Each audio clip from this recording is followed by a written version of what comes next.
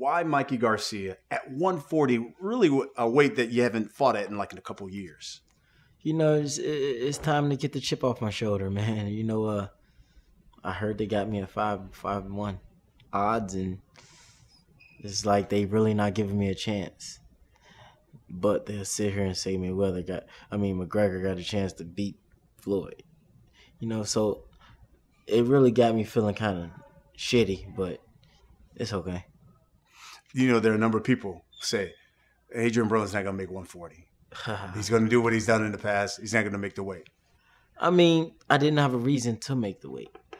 You know, my my last couple of fights, it was like, okay, we're gonna fight 40, but then it's like, y'all gonna pay me the same if we fight 43 or 44? Let's do it. You know, I was talking with uh, some members of your inner circle, and they told me they thought this was a real crossroads fight. They said for you, in your opinion, because of everything you've been through, the ups, the downs, do you see this as like a career defining or a crossroads fight for your? Yes? I do. Um, this is a not only a cross defining moment for me in my career, but it's it's a it's a big fight for boxing, and I think this fight will go in history and you know, I think after this fight, I will go into superstardom. And, and talk to me about why you feel and you actually acknowledge that this is a crossroads fight for you. Is it because the, the ups and downs in the career? What do you think? Why? It's, it isn't about the ups and downs. It, it, it's about um, me fighting a, another fighter with a, a nice following himself.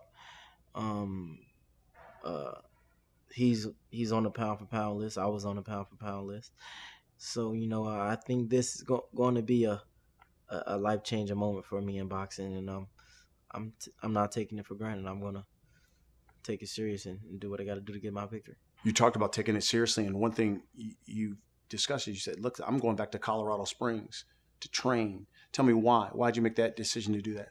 Because that's where some of my best performance came from, even in the Maidana fight. You know, uh, I was in so much shape and I was so strong that I was able to still finish the fight strong and and I could have won that fight, you know. You know, uh, but you know, um Maidana's retired. Of course I want the rematch, but he's retired. He's a nice friend of mine. You know, I'm happy for him. I'm happy for the success he's had in boxing.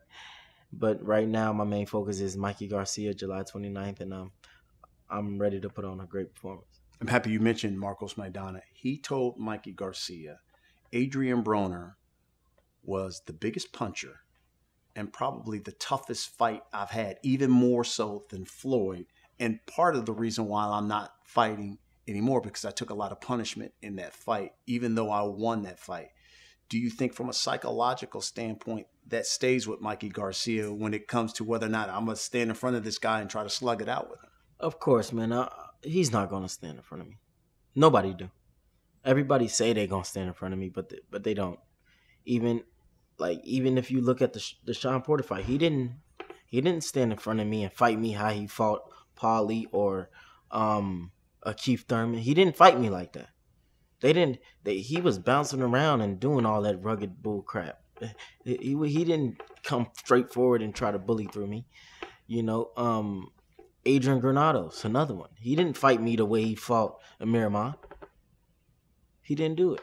You know, so when when guys, you know, look at the Maidana fight and they're like, "Oh, we we're gonna pressure him," you know, once they feel my power, they change their mind.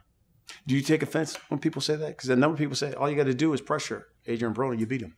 And that, that's just funny to me. It's real funny, but you know, um, like I said, I, I will be uh turning turning another page going into another chapter of, of my boxing career. And my two losses, uh, I just I beat myself. In the Maidana fight, I fought with my heart instead of my my, my brain, my smarts. In the in the Shawn Porter fight, it was so much going. Shit, I mean, man, Shawn, Shawn, them know. That one still sticks with you. It really don't stick with me. It's just a mistake I won't ever. You know, it's just a learning experience. I'm happy it happened because it, it's something that I know I can't do again. You know, I, I ain't no more cutting corners. Well, getting back to to Mikey Garcia, a number of people said, if Shawn, I'll fuck Shawn Porter up. If Shawn Porter want to fight, I'll fuck him up, man. If Kenny and his daddy want to fight, I, I I will I will fuck him. up. I will stop this this Mickey fight and, and, go to 47 and fuck him up, man. And, and tell me why Mikey Garcia is Mickey Mouse. Oh, Mickey, oh, we're gonna put him back in his clubhouse, man. We're gonna put him back in his clubhouse, man. Come inside, it's funny time. Mickey Mouse clubhouse. Um, a number of people see this as a 50-50 fight. But are you surprised, as you talked about the beginning? that But listen, okay, see, you know boxing. Yeah. Let's put Mikey Garcia in the ring with all my opponents, and then give me his whole 36. I guarantee I'm 36 and 0 with 36 knockouts. Who knows what his record will be? Point blank period. Come on, man. He's doing. He's still. He's still got to do. I didn't already. I'm a four-time world champion in four different weight classes. He got some catching up to do. I done already been champion at 30 and 35. I didn't beat the best at 30 and 35. When I was that weight, they didn't want to fight me. When I was 30, they didn't want to fight me. Well, he was only 26. We could have we could have met at 28. I was weighing in at 28. We could have fought. They didn't want to fight me. When I was 35, they didn't want to meet me at 33 or 30. They didn't want to fight me. Now y'all want to fight me? Cause I done had a couple couple bad days. All right. That's cool. do you get a sense that maybe they're looking at you that maybe the way you looked at Shawn Porter and said, "Oh yeah, this is this is probably the non-disciplined, past past the prime, Adrien Broner." Yep, I, I know what's gonna happen. I'm gonna tell y'all what's gonna happen. This was gonna happen. I'm gonna fuck him up. I mess around and stop him. They just gonna go to go back to 35 like nothing happened. And you know what the boxing world gonna do? They're gonna embrace him. And then they're gonna make excuses like, oh, he was naturally the bigger guy, he was naturally the faster guy, he had the most talent. He was supposed to do that.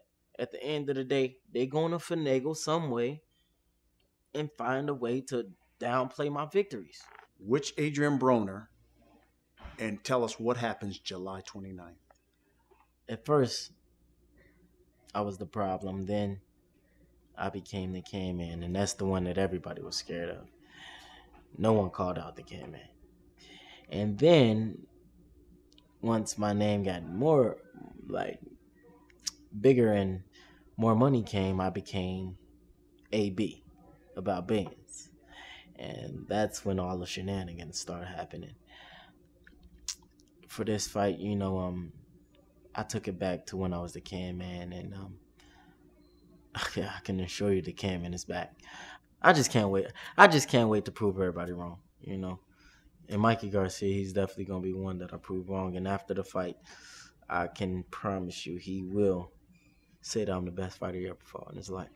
Sounds like the best Adrien Broner we've seen in a long time is going to be there July 29th. Yes, sir. Best of luck. Thank you.